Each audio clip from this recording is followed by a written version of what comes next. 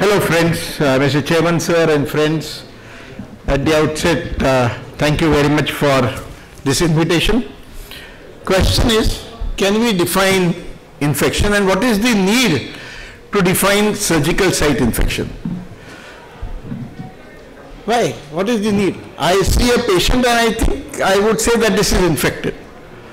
But it is needed A for documentation and research to find out, compare various protocols, compare various treatment modalities, but also to decide whether we can develop a roadmap, whether this is something where you would just like to observe or treat with antibiotics or aspirate and give antibiotics and or debride with antibiotics. So how does definition help us? Or is there any definition, to be honest? So the definition has evolved over a period of years. About, for many, many years, the three, these three definitions were commonly used. CDC definition or US Center for Disease Control, then NINS or United Kingdom Nosocomial National Surveillance Scheme and system. Variously, various different types like superficial infection, deep infection. But finally in CDC, the last thing was diagnosis by a surgeon or physician. After all that, this NINS was almost similar to CDC and asepsis was a quantitative system, scoring system where scores would tell you whether it is severe infection or not severe infection. Now a major, major publication came in 2010. How will surgical site infection be measured? And this was a huge study, eight-year study, prospective study. More than 7,000 patients were studied in a British university hospital and surgical site infection or surgical wounds were classified using these three definitions. And they just wanted to find out A, whether the results are similar using these three definitions and B, whether they work as a threshold for starting or doing appropriate treatment. So the protocol was very good. Four nurses were there. Patients were seen thrice while in indoor. They were also given a questionnaire which they were supposed to return. And you'll be surprised to know that the infection rate using three, three definitions varied significantly. With asepsis it was 8 point something, with NINS it was 11.3 and with CDC the infection rate, normally we would say infection rate is between 2% to 3% or in fact less. While using these objective definitions, the infection rate varied between 8.7 to 11, 15.4% and that's really, really terrible. So A, there was no reliable definition as a threshold for treatment as well as there was no reliable definition to diagnose infection. So therefore they warned that such high incidence of or dedicated programs like this would probably lead to apparently high rate of infection supported. So what happened after that?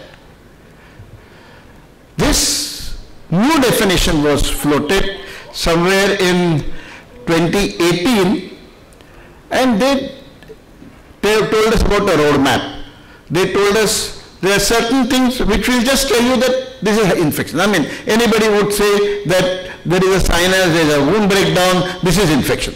The problem is when you face with a patient who has just about pain, gets up at night with pain, there is little swelling, warmth, CBC ESR is slightly high, and wound discharge is persistent. Then what do you call it? Do you call it infection or no infection? So they term this as suggestive criteria.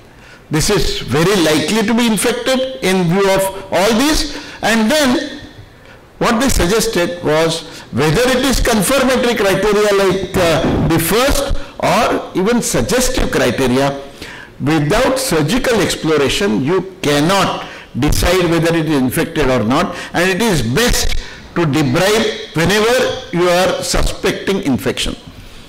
And after that again, after surgical exploration, the confirmatory criteria where cultures, positive cultures of same bacteria with at least two cultures, with at least two samples, then it is confirmatory. Or histopathology, you actually pick, pick up bacteria.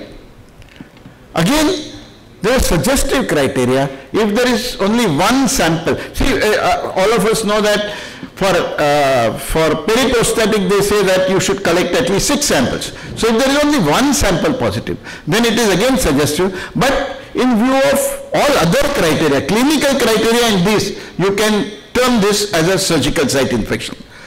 So if you diagnose any of this, whether it is suggestive or uh, confirmatory, you must debride with targeted antibiotics. Not only with confirmatory, but with suggestive. Question is why?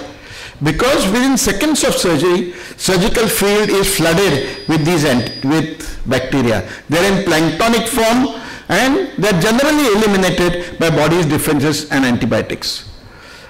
Under favorable circumstances to bacteria, they start getting stuck to the implant and stuck to themselves. They secrete polysaccharide and start developing, uh, developing uh, colonies.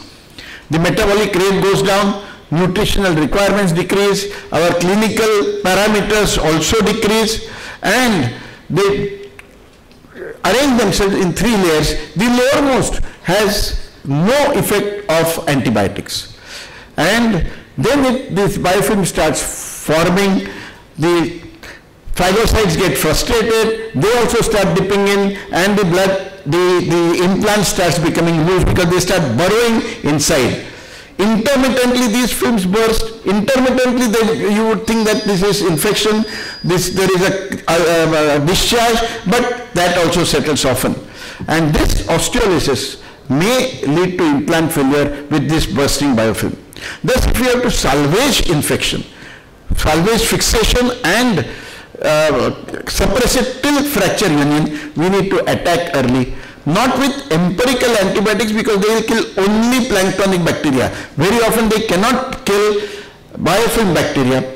Therefore, we must attack with knife, get rid of adherent biofilm, collect samples and then our antibiotics can kill planktonic bacteria and in discharge uh, the uh, field can become sterile. Therefore, salvage of implant and construct is possible only in first few weeks of uh, fixation with debridement. Hence, it is difficult to define infection. Let's face it. Therefore, surgery should be performed before confirmatory criteria appear and the only way to salvage is debridement and culture specific antibiotics if we want to salvage fixation. Thank you, friends.